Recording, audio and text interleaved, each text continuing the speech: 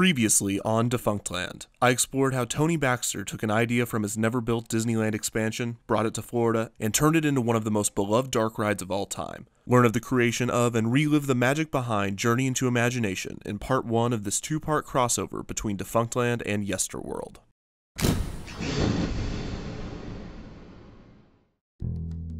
The story continues here, after the attraction was suddenly closed on October 10, 1998, and we're now going to explore what led to Journey into Imagination's closure, and its controversial alterations to not just the attraction but the pavilion itself, as well as the ultimate fate of Figment and the Dreamfinder, and what traces of the beloved attraction still exist today.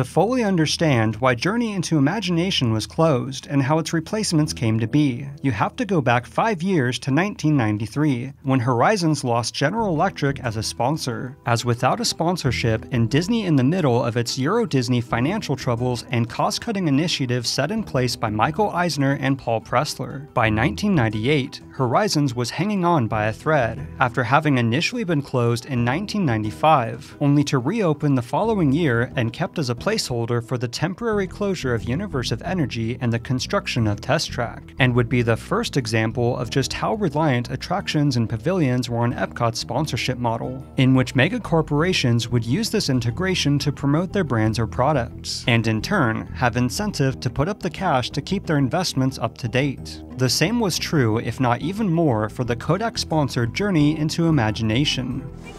Inside the glass pyramids of Journey into Imagination await some of the most exciting experiences in all of Epcot Center. While still one of Epcot's most popular attractions and pavilions, Disney had been pestering Kodak for years to put up the funds for an update or major refurbishment. But with the rise of digital media and photography, the once dominant film imaging company was struggling financially and had resisted further investing into the pavilion. However, with Epcot's upcoming Millennium celebration as an attempt to breathe some new life into the theme park, which even Disney executives admitted had become woefully outdated, Disney finally put their foot down and invoked Kodak's contractual obligation to avoid being replaced. You will do as we say. No. You have a contract! Despite being one of their biggest sponsors, Kodak was in no financial position to properly fund the refurbishment. But with their rival Fujifilm having lobbied for years to become a major sponsor in Disney's theme parks. So much so, it's rumored that Kodak was behind the cancellation of the Japan Pavilion's Mount Fuji coaster. Kodak agreed, but with one catch. They could only offer a fraction of the requested funds. And pressed for time and resources, Disney agreed to Kodak's terms. And the ride was closed in late 1998 to begin work on a new attraction to replace Journey into Imagination. And despite rumors of being based on Flubber or an adventure through the mind of a child, it would instead be inspired by the neighboring Honey I Shrunk the Audience. This year, Epcot is also the exhilarating center of the Walt Disney World Millennium Celebration. Epcot in the new millennium already embodies all of our ideas and dreams for tomorrow. On October 1st, 1999, despite being omitted from vacation planning videos, the attraction debuted as Journey into Your Imagination. And even before setting foot on the ride itself, it was clear this was not the refresh or refurbishment many had hoped for, as the once stunning atrium of beautiful murals inspired by imagination had been replaced by a new queue involving the premise of an open house at the Imagination Institute, an extension of the plot within the neighboring Honey I Shrunk the Audience. Ladies and gentlemen, the chairman of the Imagination Institute, Dr. Nigel Channing. In this new version of Journey into Imagination, Eric Idle reprises his role as Dr. Nigel Channing, and in addition to a series of painfully unfunny video segments about the various labs you'll be touring, he tells you of the Imagination Institute's newest invention. It's the Imagination Scanner, developed right here at the Imagination Institute. You'll be scanned twice, at the start of your journey, and then again after you've completed a series of perceptual exercises. If it hadn't already, by the time you reach the new loading platform, the horror of these new changes finally sets in. As the once magnificent and iconic turntable show scene introducing the Dreamfinder and Figment had been replaced by what lay before you, the loading platform itself.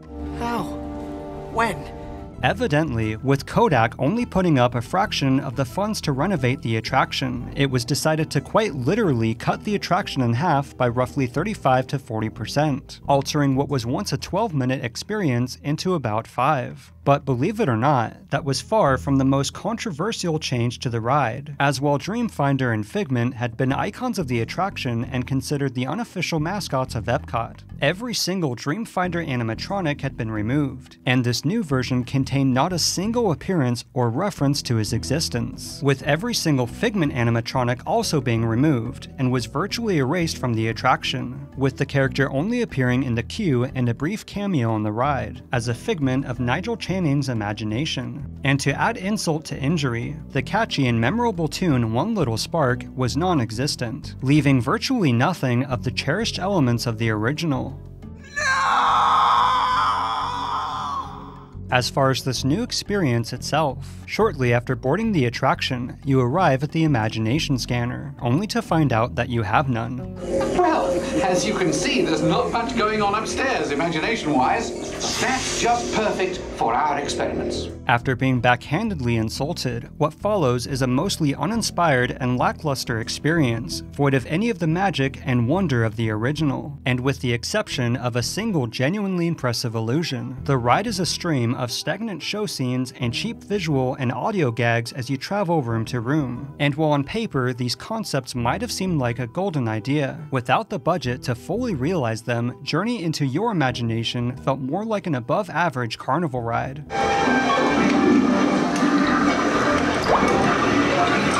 Approaching the end of the journey, you were retested with the imagination scanner, and wouldn't you know it, the results are off the charts. Fantastic! Look what your imaginations have created!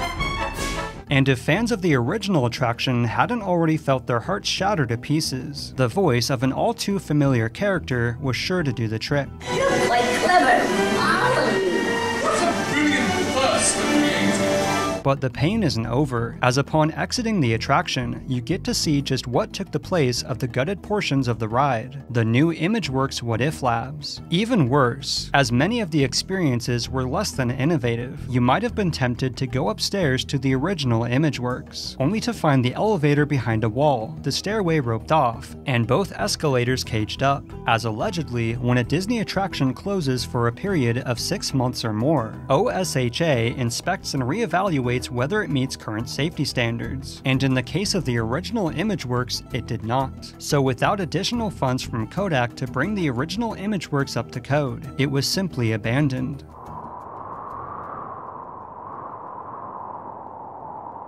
It should come as no surprise that these changes and new incarnation were less than well received, with both Kodak and Michael Eisner criticizing the new incarnation. But despite these complaints, the attraction remained. However, around a year and a half later, in mid 2001, Epcot lost its third sponsor in less than a decade, and with Kodak still being unhappy with the results of their investment and guests considering it Epcot's worst attraction, it was decided to try to restore the ride back to some of its former glory, only this time Disney would foot the bill themselves, and Imagineers were given a modest makeover budget. However, as the tragic events of September 11th had caused tourism to plummet, the budget was cut to an estimated $8 million, the equivalent of remodeling a 2,000 square foot home for just $400. Regardless, on October 8th of 2001, just two years after opening, the Imagination Pavilion's main attraction was again closed. And just six months later, the ride reopened as Journey into Imagination with Figment.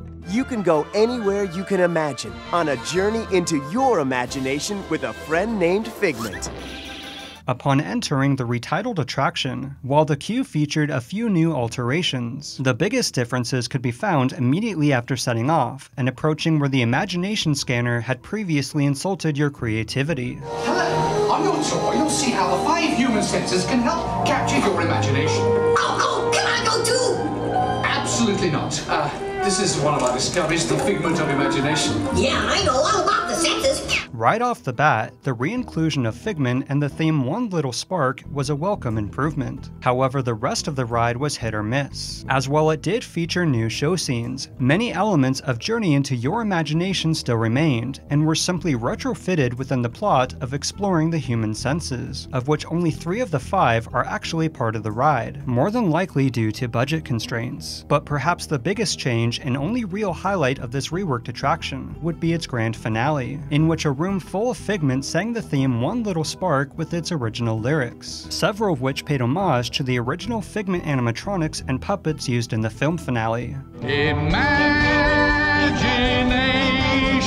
While many agreed this version was a slight improvement, it was a far cry from recapturing the magic and wonder of the original, with some criticizing Figment's new portrayal as a nuisance and a menace, compared to his childlike innocence of the original. However, it was only meant to be a temporary solution that would ultimately be rectified with Project Gemini, a proposed 350 to 500 million dollar overhaul of Epcot's future world that would have included drastic aesthetic changes as well as new attractions and experiences. Unfortunately, while then President Jay Rasulo loved the proposition, CEO Michael Eisner would only approve parts of the overall project, such as an initially planned alternate version of Soarin' over California and a Little Mermaid attraction that evolved into Nemo and Friends, ultimately leaving Journey into Imagination on the sidelines, as a shadow of its former self.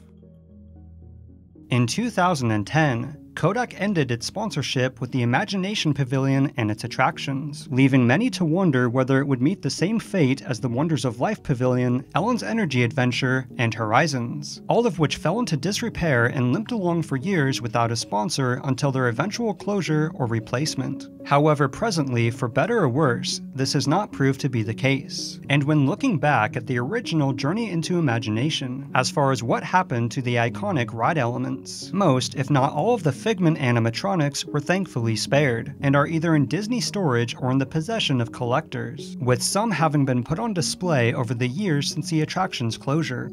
Even the puppets used in the ride's film finale surfaced in an online auction in 2008, and while more than likely not an original, in the queue of Guardians of the Galaxy Mission Breakout, Figment can be spotted in a frosted cage as one of the collector's items. Less is known about the fate of the Dreamfinder's animatronics, though in Disneyland Paris's Phantom Manor, you can find an animatronic which used the same mold as the Dreamfinder. However, a large portion of his floating vehicle, the Dreamcatcher, can be found in Epcot's Disney Gear Shop, with its various extensions also becoming prized possessions of collectors. Even traces of Journey into Imagination's original structure can be found if you know where to look, including the escalators used to enter and exit the original Imageworks, which up until 2000 2016 was used primarily for conventions and company meetings before being converted into a Disney Vacation Club lounge, retaining much of its original structure. And for a short time, members could get a glimpse into the abandoned sections which have remained for the past two decades, but was quickly covered up by the end of the year. Epcot is a reassurance that we are part of something great. If we can dream it, we can do it. Today, while the character of Figment is more popular than ever, the future of Journey into Imagination with Figment is uncertain. But as it's clear big changes are coming to Epcot in the following years, we may yet see an attraction worthy of replacing the original Journey into Imagination.